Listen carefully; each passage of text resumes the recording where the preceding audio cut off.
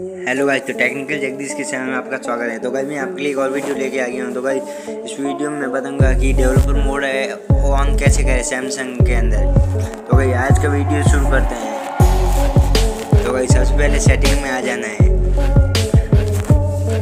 उसके बाद नीचे आ जाना है।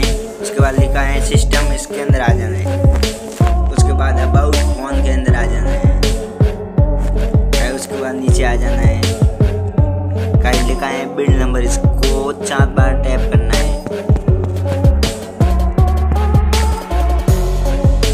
उसके बाद गाइज़ लॉक जो डाल देना है, उसके बाद गाइज़ इनेबल हो जाएगा डेवलप मोड उसके बाद गाइज़ में आ जाए ये लिखा है डेवलपर ऑप्शन यहाँ पर क्लिक कर देना है। तो गाइज़ आपने देखा कि ये हमने डेवलपर मोड ऑप्शन ऑन कर दिया है। तो गाइज़ मिलते हैं नेक्स्ट वीडियो के साथ, तब तक के लिए बाय बाय